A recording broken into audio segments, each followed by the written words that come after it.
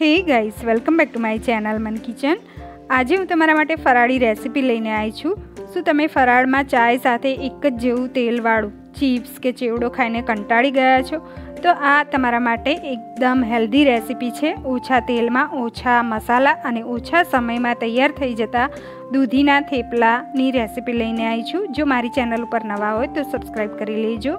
સૌ પ્રથમ ફરાળમાં ખાઈ શકાય તેવા દૂધીના થેપલા બનાવવા માટે વન કપ જેટલો રાજગરાનો લોટ લઈશું. એમાં વન ટેબલ સ્પૂન જેટલા સફેદ તલ એડ કરવાના છે. હવે તેની અંદર હાફ ટી સ્પૂન સંચળ પાવડર એડ કરીએ. અથવા તો તમે મીઠું ખાતા હોય તો લઈ શકાય છે. હાફ ટી સ્પૂન હળદર એડ કરીશું. હાફ ટી સ્પૂન લાલ મરચું પાવડર એડ કરીએ.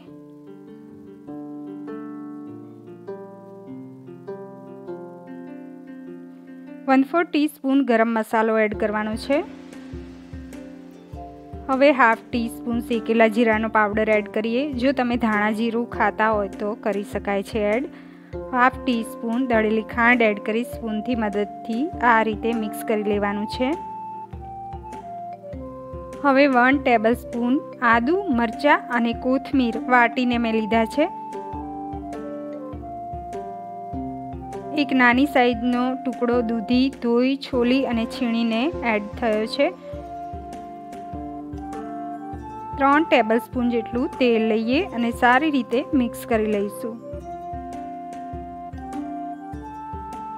એકદમ સરસ રીતે ગાંઠા ના રહે એ રીતે મિક્સ કરી લેવાનું છે અને હવે લોટ બાંધતી વખતે બે ટેબલ સ્પૂન જેટલું દહીં એડ કરવાનું છે. પાણીની જરૂર નહીં પડે અહીંયા.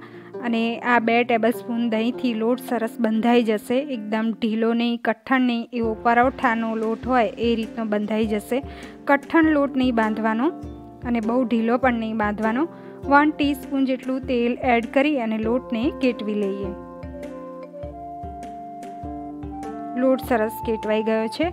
આને રેસ્ટ આપવાની જરૂર નથી. તરત જ વણી અને થેપલા બનાવી શકાય છે. આ માપ સાથે ચાર થેપલા તૈયાર થશે. અહીંયા ચાર ગુંડલા પાડી લેવાના છે. મોટી સાઈઝના આ રીતે ગુંડલા પાડી લઈશું અને સાઈડમાં તવો ગરમ કરવા મૂકી દેવાનો. ગુંડલાને અહીંયા રાજગરાના લોટનું જ અટામણ મેં લીધું છે. એનાથી કોટિંગ કરી અને થેપલું વણી લઈએ. હલકા હાથે વણી લઈશું.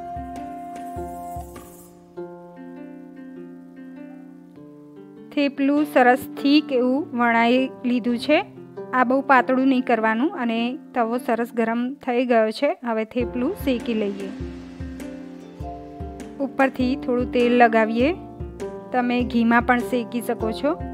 અને ગેસની ફ્લેમ સ્લો રાખી એકદમ સરસ ચડે એટલે આપણે પલટાવી લઈશું. આ રીતની સરસ ડિઝાઇન આવી ગઈ છે. હવે પલટાવી લેવાનું અને બીજી સાઈડ પણ સરસ શેકી લેવાનું છે. ઓછા તેલમાં અને ઓછા સમયમાં આ થેપલા તૈયાર થઈ જાય છે. બધા જ થેપલા આ રીતે તૈયાર કરી લઈશું. પાંચ મિનિટમાં આ રીતે ચાર થેપલા મેં તૈયાર કરી લીધા છે. એને મેં દહીં સાથે સર્વ કર્યા છે. તમે ચાય સાથે પણ સર્વ કરી શકો છો. અને સાથે લીલા મરચાં પણ તળીને મૂક્યા છે. ખૂબ જ ટેસ્ટી અને ફરાળમાં ખાઈ શકાય તેવા દૂધીના થેપલા આપણા તૈયાર થઈ ગયા છે. સો ફ્રેન્ડ્સ તમને મારી રેસિપી ગમી હોય તો વિડીયોને લાઇક કરજો અને મારી ચેનલને સબસ્ક્રાઈબ કરવાનું ના ભૂલતા અને દોસ્તોમાં જરૂર શેર કરજો. Bye see you next time happy cooking